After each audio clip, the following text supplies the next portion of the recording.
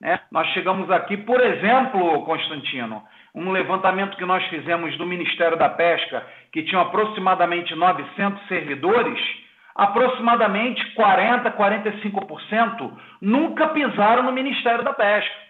Então, está mais do que comprovado né, de que era uma pasta realmente feita é, para fins políticos partidários. E se vocês me permitem me alogar um pouco mais, eu vou abordar aqui a questão do seguro defeso.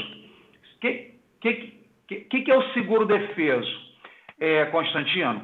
Na, na ideia original, é, é uma ideia muito boa, onde o peixe, em sua fase de procriação ou fase de migração, nós chamamos de é, é, piracema, o Estado brasileiro é, ajuda esse pescador a respeitar a natureza. Então, o seguro defeso, quando foi feito originalmente na década de 90, ele tinha um aspecto social, porque dá segurança para o pescador parar de pescar para a natureza se procriar, e o lado realmente sustentável para que nós, durante né, esses processos reprodutivos, não retirássemos recursos da natureza.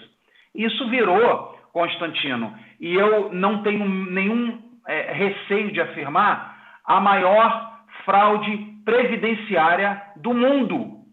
Só isso.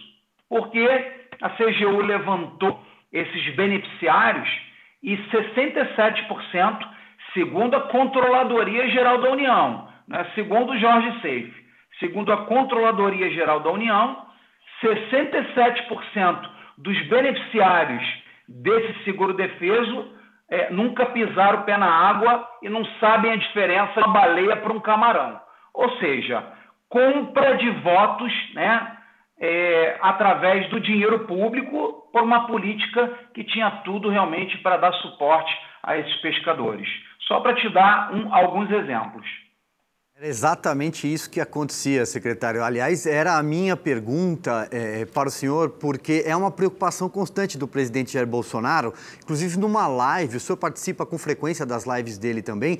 Ele falou sobre essas fraudes e sobre uma montanha de dinheiro que é desviada. Né? O seguro defeso praticamente criado para isso. A finalidade é até é boa, né? Proteger o pescador artesanal naquele período em que, o período do defeso, período em que ele não pode é, trabalhar mas é uma fonte é, constante de desvios. Isso continua acontecendo? É, o senhor tem números é, é se conseguiu estancar essa sangria de dinheiro público? É, é Silvio, excelente.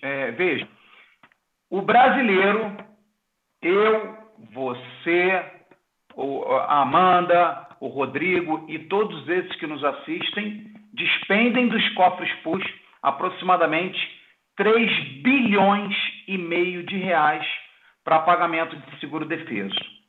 Antes do presidente Bolsonaro, antes de 2019, nós só tínhamos incremento na base dos recebedores desse benefício.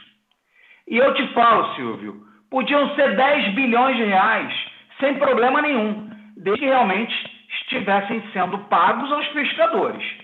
Então, o que, que nós fizemos, Silvio? É, de 2019 para cá, nós vemos uma ação inédita. Né? Eu procurei a Polícia Federal e fizemos um grupo, né, um consórcio aqui dentro do Poder Executivo, se assim eu posso chamar consórcio, ou uma união de esforços, ou uma, uma cooperação coletiva de ministérios, onde está Ministério da Agricultura, que hoje a pesca está submetida, é, Ministério da Justiça com a Polícia Federal, INSS, Caixa Econômica Federal, Controladoria Geral da União e agora é, também o, o, Ministério do Ministro Onix Lorenzoni de Trabalho. Então fizemos um consórcio, esse trabalho conjunto, e de lá para cá, Sil, de 2019 para cá, num trabalho inédito, nós já suspendemos 85 mil falsos pescadores, pessoas que se passavam por pescadores. E o que, que significa, por exemplo, 85 mil é, suspensões? Você multiplica aí por 5 mil reais, 4.500 reais, que é a média de pagamento é, desse benefício, e nós chegamos a números próximos a 400 milhões de reais.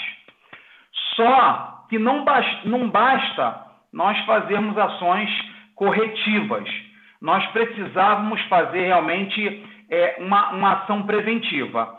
Então, agora em junho é, de 2021, nós lançamos um recadastro nacional de pescadores, Silvio. Qual é o objetivo? Para vocês terem ideia do absurdo, o sistema anterior não cruzava CF com nenhuma base do governo. Ou seja, nós pagávamos para pessoas que tinham CPFs inexistentes, para pessoas falecidas. E para finalizar, só para vocês entenderem a problemática do seguro-defeso. Uma portaria que eu acabei de publicar, tem, tem poucos meses, um ou dois meses, 5 mil servidores públicos estavam inscritos no seguro-defeso. Ou seja, era certeza absoluta dessas pessoas que se inscreviam que não haveria nenhuma ação é, de auditoria, nenhum tipo de cruzamento de dados.